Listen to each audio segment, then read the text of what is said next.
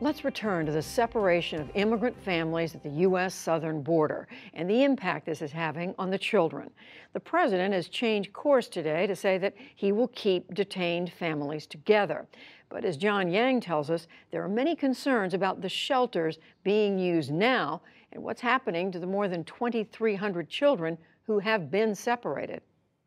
Judy, not many details were known about where and under what conditions the youngest children forcibly separated from their parents at the border are being held until the Associated Press reported the locations of three of them. To talk about what we do know about them and the psychological impact their detention can have, we're joined by Martha Mendoza, an Associated Press national writer who helped break the story, and Dr. Colleen Kraft, a practicing pediatrician who's the current president of the American Academy of Pediatrics. She has visited uh, one of the shelters where some toddlers are being detained. Uh, Martha, let me begin with you. What do we know about these uh, shelters, where they are, who's running them? Sure. We know of three in um, Texas, in the Rio Grande Valley area, and a fourth one that's planned for in Houston. Um, and they are run by nonprofits that run other children's shelters. Um, until March, they had been run by a group called International Education Service for about 30 years. These were shelters for youngest, youngest children. Um, but in March, the uh, government ended that contract, and so now two other um, nonprofits are running them. And these are being run, as you say, under contract to the government? That's right. Um, so the federal government's Office of Refugee Resettlement will contract with agencies to staff basically 24-hour daycare centers and take care of these kids. So these are centers designed for children? Well, actually, because um, until about a month ago, the children who were staying with their parents when they were very young. So these places had to be reconfigured to make them appropriate for such little children. And talk about that for little children. I know that the, the, there is some discretion on the part of the officers at the border about separating children who are, I think the term is nonverbal, who aren't speaking yet. How young is too young to be taking these children away from what you, from what your reporting has learned? Well, the federal government has what they call tender age, which is an interesting term. And um, some agencies say if you're under 12, you're tender age. Some agencies say if you're under five, you're of tender age. Um, I have not heard a minimum age at which they will you know, say this kid needs to stay with their parent.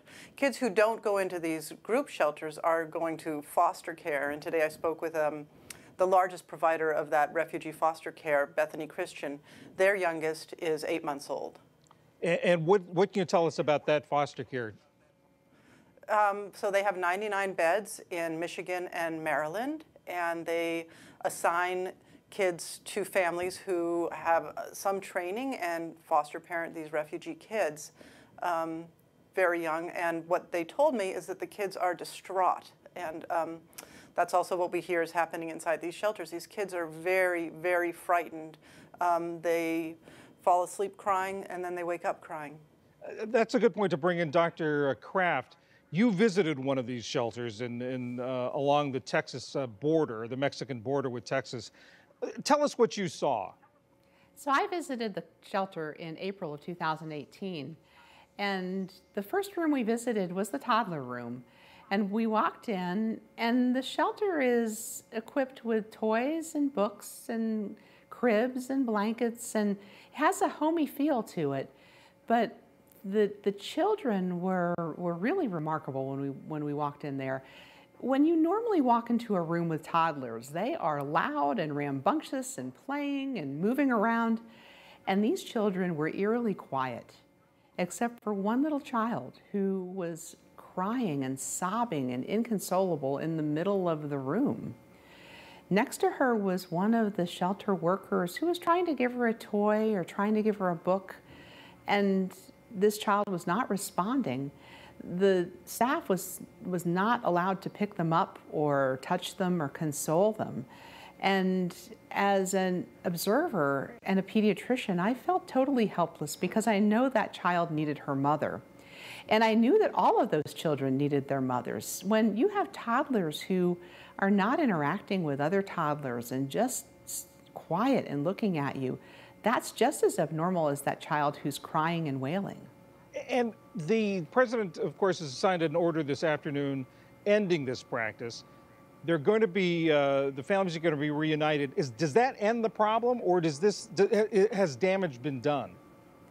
So when you separate parents and children, these children have increased amounts of the stress hormones, the fight or flight hormones in their system, and that's already disrupting their development in terms of social emotional bonding, speech, language, and gross motor.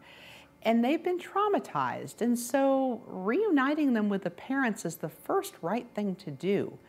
The question is the implementation. When does that happen? How does that happen? Does this family unit stay in a place that's comforting or in a place that re traumatizes these children? So there's a lot of questions in terms of the implementation of the reunification. And how far in the future are we likely to see, or could we see, effects in these children, the effects of their detention?